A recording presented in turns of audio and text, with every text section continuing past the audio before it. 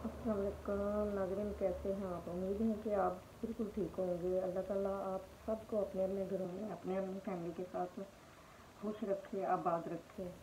अच्छा नाजरीन आज आपके साथ मैंने एक बहुत ही जो है ना, दर्दनाक वाक़ शेयर करना है।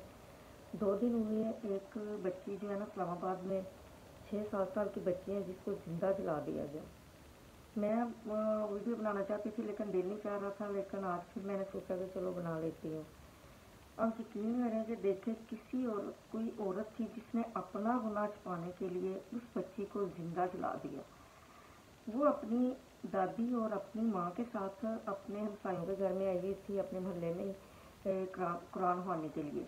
तो उसकी दादी और उसकी जो माँ थी ना, वो कुरान पाक पढ़ रही थी और वो बच्ची जो है ना खेल रही थी और खेलते खेलते छत पे चलेगी और जब वो छत पे गई तो वहाँ कोई लड़का और लड़की थे। बाकी मुझे बताने की ज़रूरत नहीं है। आप बहुत समझदार हैं, आपको पता चल गया होगा कि वो जो लड़का और लड़की है, वो क्या कर रहे होंगे। तो वो जब लड़की ने देखा तो उन लोगों ने क्या किया?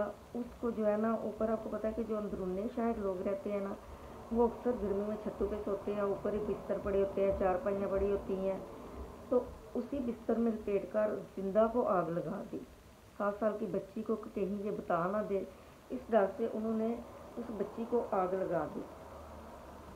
और जब उसकी माँ को शक हुआ कि मेरी बेटी पता नहीं कहाँ चली गई है, वो उसको ढूँढने लगी। लेकिन वो किसी को नहीं मिली ढूंढते ढूंढते जब उन्होंने देखा कि छत से धुआँ आ रहा है और स्मेल भी आ रही है, ठीक है तो उसके बाद वो छत पे जब गए तो उन्होंने देखा कि वो जो बिस्तर पड़े हुए हैं, उसको आग लगी हुई है। उसकी जो वालदा थी, उसने आगे पीछे ढूंढना शुरू कर दिया। गली में जब उसने देखा तो एक औरत को उसने भागते हुए देखा, उसके साथ एक मर्द भी था। लेकिन जब नहीं मिली तो फिर जब उन्होंने उस साल को बुझाया तो उसमें उनकी बेटी थी, जो कि छः सात सौ साल की थी। वो जो औरत है, वो तो गिरफ़्तार हो गई है, लेकिन उसका आशिक जो है, वो भाग गया है, अपनी माशुका को छोड़कर, जिसके साथ वो ऊपर क्या कर रहा था, मैं अब वो लफज नहीं बोलना चाहती। तो वो खुद भाग गया और वो जो है ना वो गिरफ़्तार हो चुकी है। तो उसने जो बयान दिया उसने बयान ये दिया कहती है कि मैं उससे प्यार करती थी, लव मैरिज करना चाहती थी, कोर्ट मैरिज बल्कि कोर्ट मैरिज करना चाहती थी तो हम भागने लगे थे। हम भागने लगे थे तो वो जो बच्ची है, उसने हमें देख लिया, जिस वजह से हमने ऐसा किया।